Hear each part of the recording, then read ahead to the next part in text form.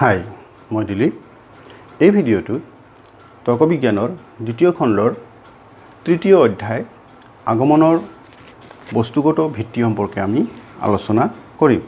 তো তৰ্কবিজ্ঞানত এটা যথাৰ্থ সামান্য বচন প্ৰতিষ্ঠা কৰিবলৈ যথাৰ্থ সামান্য বচন প্ৰতিষ্ঠা কৰিবলৈ দুটা ভিত্তিৰ ওপৰত নিৰ্ভৰ কৰিবলগীয়া হয়। এটা হ'ল আকাৰগত ভিত্তি আৰু আনটো হ'ল বস্তুগত ভিত্তি। তো আকাৰগত ভিত্তিত আমি পাইছিলোঁ প্ৰকৃতিৰ একৰূপতা বিধি আৰু কাৰ্যকাৰণ বিধি। তাৰপিছত বস্তুগত ভিত্তি প্ৰতিষ্ঠা কৰিবলৈ কি কৰিবলগীয়া হয়? পৰ্যবেক্ষণৰ ওপৰত নিৰ্ভৰ কৰিবলগীয়া হয়। পৰ্যবেক্ষণ আকৌ দুই ধৰণৰ হয়। এটা হ'ল নিৰীক্ষণ আনটো হ'ল পৰীক্ষণ। হয়নে? মনত পৰিছে? পৰ্যবেক্ষণ অতি গুৰুত্বপূৰ্ণ। তো যথাৰ্থ সামান্য বচন প্ৰতিষ্ঠা কৰাৰ ক্ষেত্ৰত তৰ্কবিজ্ঞানত পৰ্যবেক্ষণৰ ক্ষেত্ৰত তৰ্কবিদ জয়সীয়ে তিনিটা চৰ্ত আগবঢ়াইছে পৰ্যবেক্ষণৰ। পৰ্যবেক্ষণ যদি কৰিব লাগে পৰ্যবেক্ষণ যিহেতু আগমনৰ বস্তুগত ভিত্তি নিৰীক্ষণ আৰু পৰীক্ষণ তো এই পৰ্যবেক্ষণ তিনিটা চৰ্তৰ ওপৰত ভিত্তি কৰিব। আৰু এই তিনিটা চৰ্ত তৰ্কবিদ জয়সীয়ে আগবঢ়াইছে। আৰু এই তিনিটা চৰ্ত কি কি? তোমালোকে চাই ল'ব যে বৌদ্ধিক চৰ্ত শাৰীৰিক বা দৈহিক চৰ্ত নৈতিক চৰ্ত এই তিনিটা চৰ্ত বৰ সাধাৰণ তোমালোকৰ দৈনন্দিন জীৱনতো হৈ থাকে। তো এইটো বস্তুটো মনত ৰাখিবা আৰু ইয়াৰ পৰা প্ৰশ্ন অহাৰ সম্ভাৱনা আছে। ইয়াৰ পৰা বৌদ্ধিক চৰ্ত সম্পৰ্কে দুহেজাৰ ওঠৰ চনত দুই নম্বৰৰ এটা প্ৰশ্ন অলৰেডি আহিছে। বা শাৰীৰিক বা দৈহিক চৰ্ত কি নৈতিক চৰ্ত কি দুই নম্বৰৰ শ্বৰ্ট প্ৰশ্ন আহিব পাৰে। ইয়াতে দুই নম্বৰৰ কাৰণে ঠিক হয়। তো এই চৰ্তসমূহ আমি আলোচনা কৰিম। এতিয়া এটা এটাকৈ আমি আলোচনা কৰোঁ যে বৌদ্ধিক চৰ্ত কি? বৌদ্ধিক চৰ্ত। তো পৰ্যবেক্ষণত বৌদ্ধিক চৰ্ত হ'ল শুদ্ধ পৰ্যবেক্ষণৰ বাবে পৰ্যবেক্ষকজনৰ মানসিক বা বৌদ্ধিকভাৱে সুস্থ হয় নে নহয়। পৰ্যবেক্ষকজন মানসিকভাৱে যদি শুদ্ধ হয় মানসিকভাৱে যদি প্ৰস্তুত হয় বা মানুহ মানসিকভাৱে যদি ই সুস্থ হয় তেতিয়াহ'লে তাৰ বৌদ্ধিক চৰ্ত কমপ্লিট কৰিব বৌদ্ধিক চৰ্ত থাকিব।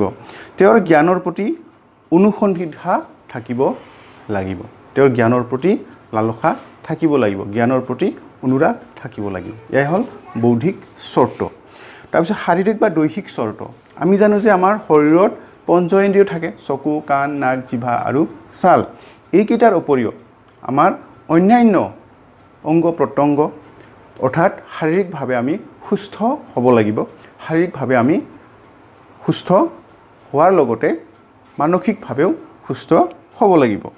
ঠিক আছে দৈহিক চৰ্ত ইয়াতে শাৰীৰিক ইন্দ্ৰিয়সমূহেই হ'ল পৰ্যবেক্ষণৰ শাৰীৰিক বা দৈহিক চৰ্ত আমাৰ যদি পৰ্যবেক্ষণ কৰিবলগীয়া হয় তেতিয়াহ'লে যদি আমাৰ চকু নাথাকে কিবা নাথাকে আমাৰ অংগ ক'ৰবাত দোষ থাকে আমি যদি ৰোগীয়া হওঁ তেতিয়াহ'লে ইয়াত দৈহিক চৰ্ত পূৰ্ণ নহ'ব। তো এই ইন্দ্ৰিয়বোৰ আকৌ নিৰ্ভৰ কৰে মানুহৰ শৰীৰটোৰ ওপৰত। আমাৰ যে চকু কাণ নাক জিভা চা জিভা ছাল হাত ভৰি এইবোৰ হয়নে? তো এই ইন্দ্ৰিয়বোৰ নিৰ্ভৰ কৰে মানুহৰ শৰীৰটোৰ ওপৰত। গতিকে নিৰ্ভুল পৰ্যবেক্ষণৰ কাৰণে পৰ্যবেক্ষকজনৰ শাৰীৰিক বা দৈহিকভাৱে শুদ্ধ সুস্থ থকা নিতান্তই প্ৰয়োজন। আমাৰ শৰীৰটো পৰ্যবেক্ষক হিচাপে যদি থাকিব খোজে তেতিয়াহ'লে তেওঁ শাৰীৰিকভাৱে সুস্থ হ'ব লাগিব। আৰু ইয়াই হ'ল দৈহিক চৰ্ত বা শাৰীৰিক চৰ্ত। ঠিক আছে? তিনি নম্বৰত নৈতিক চৰ্ত। নীতি কথা আহি যায় যে মানুহজন নৈতিকভাৱে কি হ'ব লাগিব? শুদ্ধ হ'ব লাগিব। তেওঁ কি হ'ব নোৱাৰিব? পক্ষপাতিত্বমূলক হ'ব নোৱাৰিব। স্বাৰ্থপৰ হ'ব নোৱাৰিব বা পূৰ্বধাৰণাযুক্ত হ'ব নোৱাৰিব বা তোমাৰ যে অন্ধবিশ্বাস আদি মানুহজনৰ থাকিব নোৱাৰিব। যে কিবা এটা পৰ্যবেক্ষণ কৰিবলৈ যাওঁতে তেওঁ যদি অন্ধবিশ্বাসৰ বলি হৈ পেলাই যে শুদ্ধ পৰ্যবেক্ষণ নকৰে তেতিয়াহ'লে সেই পৰ্যবেক্ষণ শুদ্ধ নহ'ব হয়নে নহয়? তো ইয়াতে এই কাৰণে কোৱা হৈছে যে পৰ্যবেক্ষকজন বৌদ্ধিক আৰু দৈহিক চৰ্তৰ পিছতেই পৰ্যবেক্ষকজনৰ নিৰপেক্ষতা যে পৰ্যবেক্ষণত নিৰপেক্ষ হ'ব লাগিব। আৰু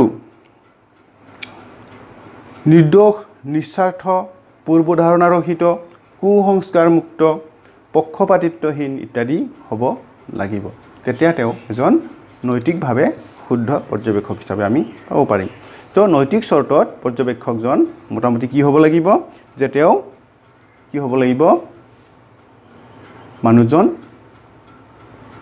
পক্ষপাতিত্বমূলক হ'ব নোৱাৰিব নিস্বাৰ্থ হ'ব লাগিব তেওঁ নিৰ্দোষ হ'ব লাগিব তেওঁ মনটো নিৰ্দোষ হ'ব লাগিব পূৰ্ব ধাৰণা ৰহিত হ'ব লাগিব।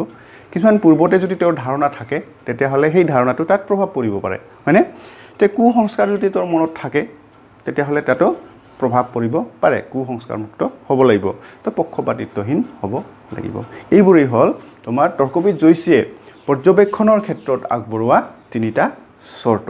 আৰু এই চৰ্তৰ পৰা পৰীক্ষাত আহিব পাৰে। আগে পিছে আহিছে দুহেজাৰ ওঠৰত এটা আহিছে।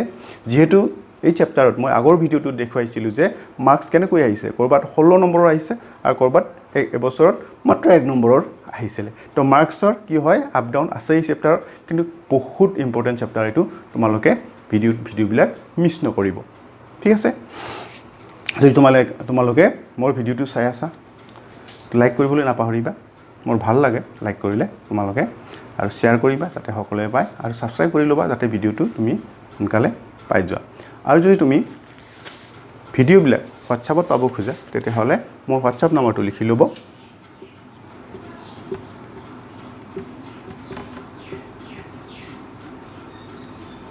যদি নোটছবোৰ লাগে তোমালোকক নোটছবিলাক মই পি ডি এফ আকাৰত হোৱাটছআপত পঠাই দিম।